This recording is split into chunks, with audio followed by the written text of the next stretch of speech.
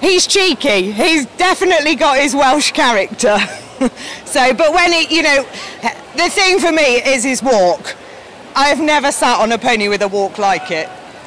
So, I think they should show their breed characteristics. So, like with a Section C, I want something to have some hock action and actually have some lift in its movement, which, you know, I think he's got.